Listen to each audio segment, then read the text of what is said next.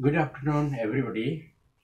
This session, afternoon session, is dedicated to all English lovers. Well, you can ask, what are we going to do this this afternoon? Well, I'm going to talk about in the passives of imperatives, language for all language lovers. Yeah, well, generally what happens and when we are conversing, when we are talking in English or when we are discussing any matter, we sometimes make, you know, orders, sometimes request, sometimes instruction, sometimes prohibition. So this request, advice, prohibition, order, instruction, these are the, I mean, mm, way of giving certain, I mean, information in certain order. So, so in case of passing an order, how will uh, we, we express our language in passive form? So let us take order and command. Open the door.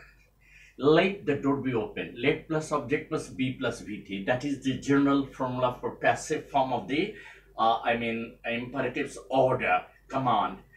March forward. Let the soldiers be commanded to march forward. Shut the door. Let the door be shut.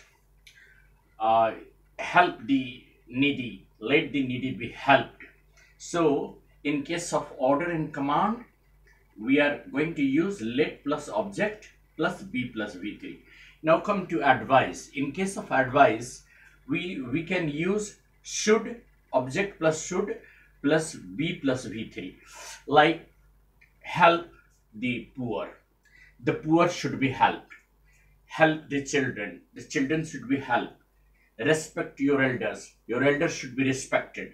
So object plus should plus b plus v3 that is the formula for i mean passive when you're expressing imperatives and the request. Yeah in request object plus should plus b plus v3 now come to advice. Work hard.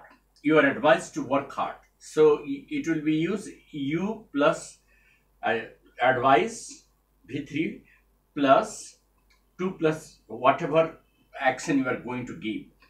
Like pay attention to study. You are advised to pay attention to studies. Uh, help the poor. You are advised to help the poor. Uh, always follow the elders. You are advised to follow the orders always. Now come to the instruction.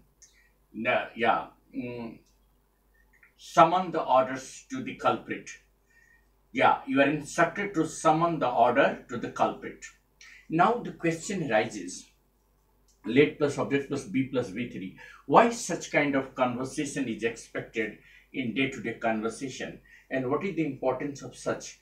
See generally what happens that when you are conversing sometimes the question comes that you are giving advice to your uh, a co i mean speaker. You are asking him oh uh, help them please. So let them be helped please.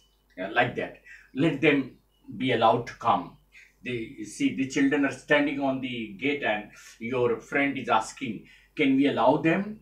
Can we allow them to come inside? Then you can say if you are giving them the permission let the children be come inside or be allowed to come inside. Let them be seated. Let them be i mean uh, understood. Let them be uh, instructed to uh, follow the rule. Let them be asked to come in time. Let them be reminded to be punctual. So such kind of sentences generally are used by every speaker in day-to-day life. Now there are certain sentences where a very i mean assumed or generalized statement is given. Like we say that people in india believe in religions. So how to i mean express this in passive in a beautiful manner. Yeah. Ye- yes religions are believed in by indians. Or we can say that people people are made to believe in india in different religions. Or we can say that it is believed that people of different faiths live in india so such kind of sentences beautify the statement like we worship ganga in india ganga is worshipped in india we we expect everybody to do his duty. Everybody is expected to do his duty. Uh, we expect every Indian citizen to defend his nation. Every Indian citizen is expected to defend his nation. Like that. This beautifies the expression. Therefore, in order to beautify the expression, sometimes we have to use passive form. It is in generalized form also that it is expected that all Indians should be very, very honest and hardworking.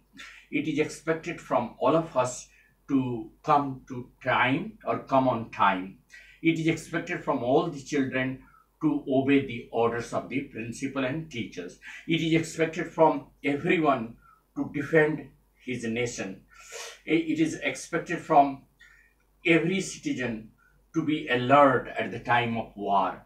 It is expected from every Indian to eh, maintain the solidarity and integrity. So such expressions are always very beautiful. Therefore, in imperative sentences, we will use let plus object plus be plus b3.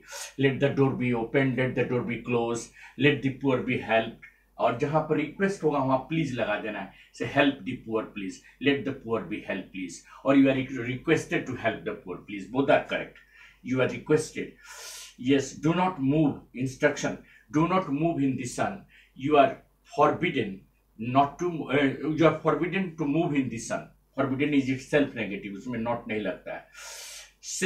Sit in the open area you are asked to sit in the open area open your book on page number ninety nine you are instructed to open your book on page ninety nine और let the book on page ninety nine be opened you all are requested to sit in quietness you uh, every one of us is requested to sit in quietness. Or it is expected from all of us to be quiet while sitting here. Let um, allow everybody to come. Thanks. We will